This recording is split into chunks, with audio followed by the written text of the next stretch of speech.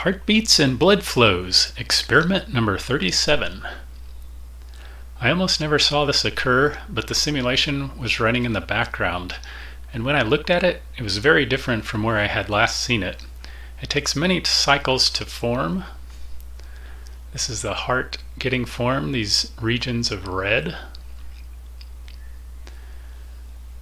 The frames per second is only 35. I'm running with only one core to let the screen capture have some CPU cycles. I see some blood veins starting to form, these red and blue. Each particle is slightly different. The two red particles, there's two different types. This one can see itself, denoted by the triangle. This one can't see itself. This is a flesh-colored particle that is seen and is seen and can be seen by all particles. But for the most part, this blue and this red are exactly the same.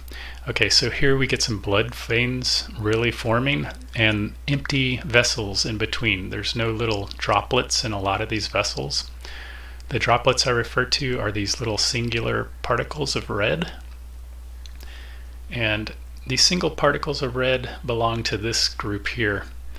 The blue and this red, these two, are symmetrical in their behavior, so they are these two particles. So here we can see a heart getting formed.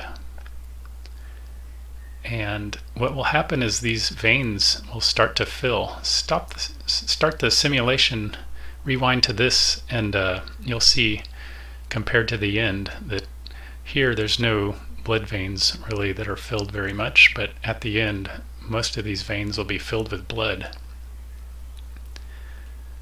So what happens is these hearts will pump out little particles of blood into these empty spaces, and that will push on the other particles, and they will subsequently keep pushing their neighbors, and eventually we will have all the veins filled with blood.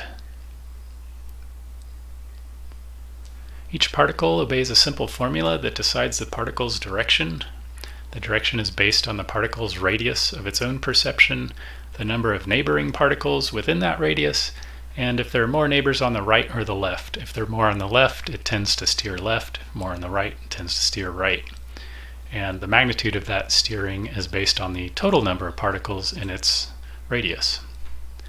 Now the hearts are really forming and you're starting to get many more blood droplets filling in the veins, but there's still some empty spaces here, here, here, up in here.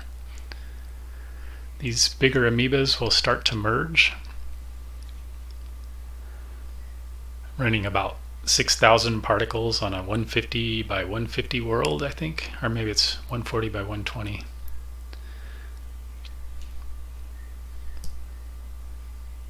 Looking at these things really makes you think about the creation of our universe and how simple rules like electric charge and gravity can lead to complicated behavior.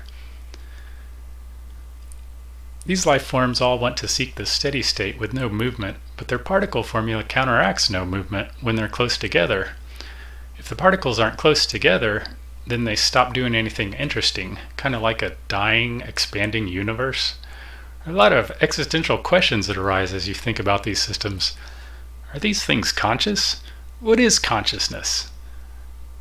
How do you prove anyone or anything is conscious? Am I dreaming? I predict consciousness will be one of the last remaining questions after we've discovered all the other secrets of our universe. We have problems understanding our universe in part because we can't observe all of its history and features and future. So here I added this slider bar to look at the past history and it adds a little fade to the simulation. It blends the previous, say, 10 frames with the rest of the animation so you can see where the particles have been. It's kind of like observing an electron cloud, electron cloud. Uh, you see the probability of where things are. You don't necessarily see their position and speed at the same time.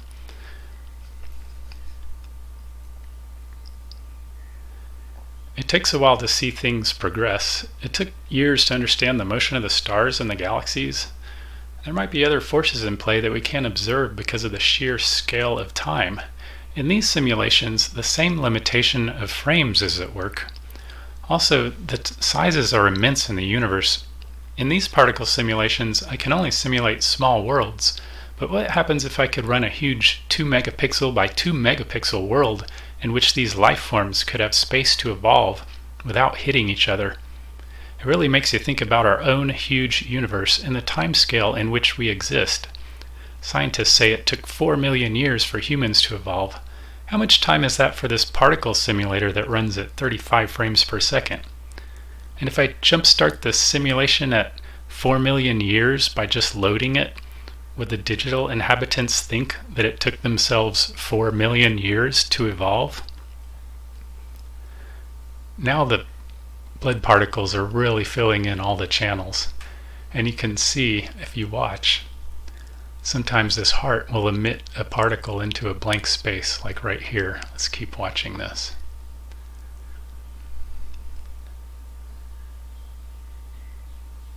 Or right here. Oop, I think I saw some.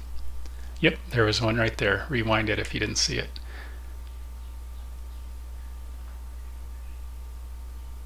Here's a blank space ready to get filled by this heart. Let's see if it happens.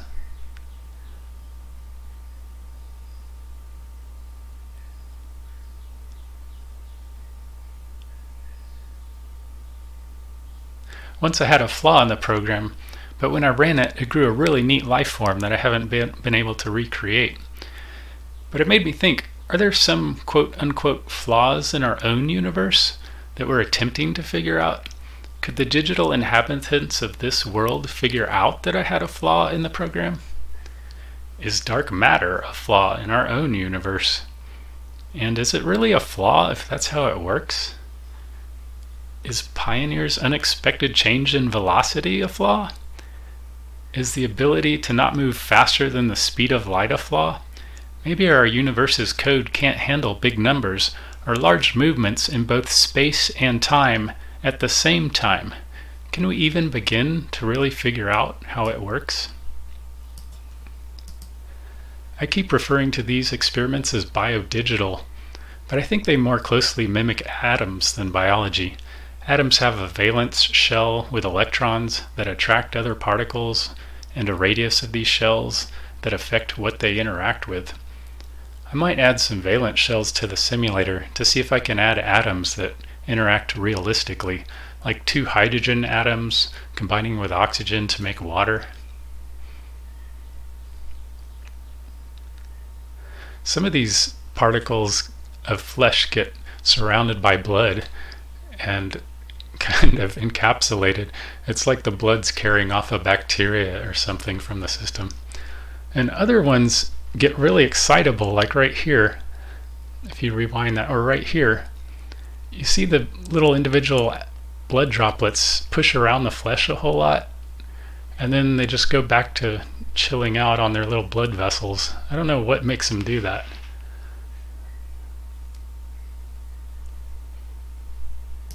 I'll turn the fade back down and we'll see where they are instantaneously. YouTube has a problem showing these simulations with a lot of dynamic movement on little particles they tend to want to compress the stream. So I think the fade kind of gets around that. It's a trade-off, I guess. So let's see what it looks like with more fade on YouTube.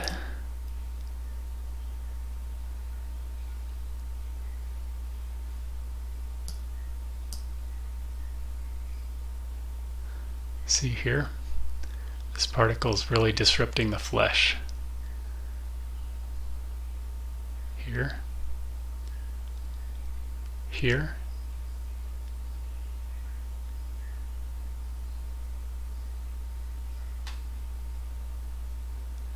Well, I don't want to take up too much space on YouTube's hard drive, so I guess I'll end this in a little while. I'll let it go on for a little longer. I think we've achieved our goal. Looks like we're getting a left and a right ventricle here. Maybe these two will attempt to merge if this blood vein doesn't stand in the way.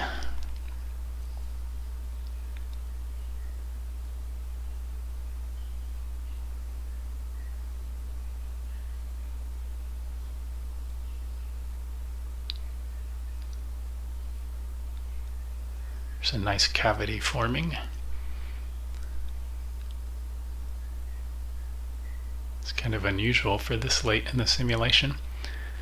Originally I had this running on a bigger world, but like I said, I just couldn't upload it to YouTube and have YouTube play it back in the same fidelity so I had to make the particles bigger and scale down the world size. Ooh, did you see that?